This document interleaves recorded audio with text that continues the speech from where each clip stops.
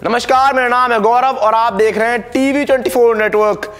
रिंकू सिंह का तूफ़ान आया, छक्कों ने कोहराम मचाया और एक नहीं सूर्य कुमार यादव, स्काई के दो दो रिकॉर्ड तोड़कर दिखाया सिर्फ़ एक मैच में, वो भी बिना 50 बनाए हुए। जी हाँ साफ़ तौर पर अगर आप देखेंगे तो एक नहीं, दो रिकॉर्ड तोड़े हैं सूर्य कुमार यादव के, वो भी विदाउट स्कोरिंग अ 50 तो अब बात करते हैं कौन से रिकॉर्ड तोड़े हैं, यहाँ पर सूर्य कुमार यादव के किस तरह से तोड़े हैं, और क्या कुछ किया यहाँ पर रिंकू सिंह ने।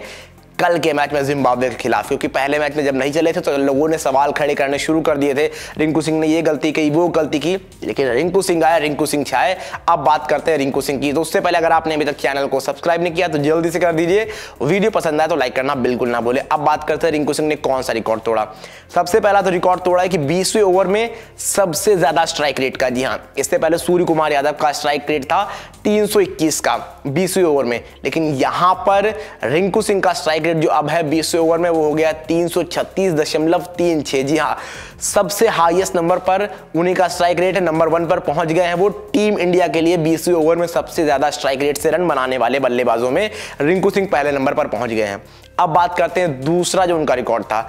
दूसरा रिकॉर्ड साफ़ तौर पर, साफ़ तौर पर तोड़ा है सूर्य कुमार यादव का छक्कों के मामले में। जी हाँ उन्नीसवें और बीसवें ओवर में आ, हम सभी को पता है कि सूर्य कुमार यादव ने बहुत सारी पारियाँ खेली हैं। उनकी बासठ पारियाँ हुई हैं सूर्य कुमार यादव की और उन्होंने उन्नीसवें बीसवें ओवर में चौदह छक्के लगाए हैं। लेकिन अगर हम ऑन दी अदर हैंड बात करते हैं रिंकू सिंह की तो सिर्फ़ 48 पारियाँ खेली हैं अभी और 17 छक्के जड़ चुके हैं 19वें और 20वें ओवर में।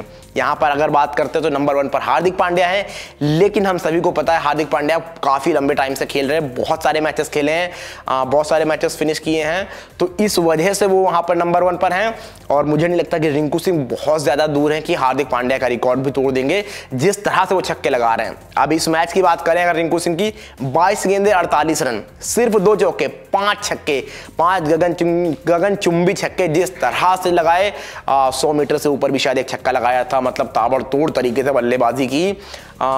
नज़र आ रहा था कि भाई ये बल्लेबाज आउटस्टैंडिंग है। Rinku the finisher Rinku the young man और जो भी आप बोलिए रिंकू सिंह के लिए आ, ना काफ़ी होगा जिस तरह से बल्लेबाजी कर रहे हैं। एक के बाद एक सारे रिकॉर्ड तोड़ते जा रहे हैं रिंकू सिंह और उस कठिन जगह पर बल्लेबाजी कर रहे हैं कठिन परिस्थितियों में बल्लेबाजी कर रहे हैं जो आसान नहीं होता है फिनिशिंग करना वो रिंकू सिंह कर रहे हैं। तो आप बताइए आपको क्या लगता है कि वाकई रिंकू सिंह हार्दिक पांड्या का रिकॉर्ड तोड़ सकते हैं या फिर नहीं? जो भी आपको लगता है जल्दी जल्दी कॉमेंट करके बताइए।